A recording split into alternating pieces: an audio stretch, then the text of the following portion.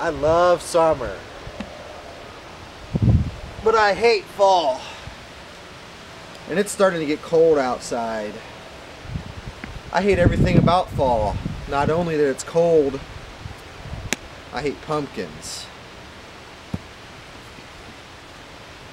I hate cheap Halloween decorations like this ghost.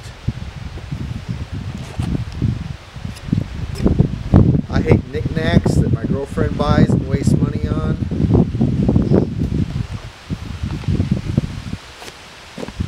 I hate these dumb boots that girls wear in the fall. Honestly, who likes flannel?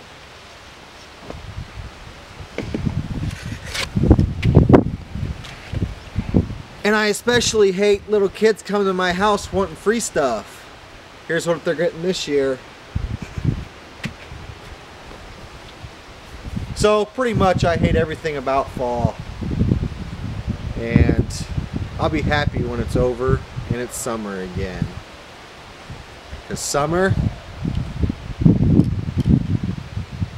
is the best season.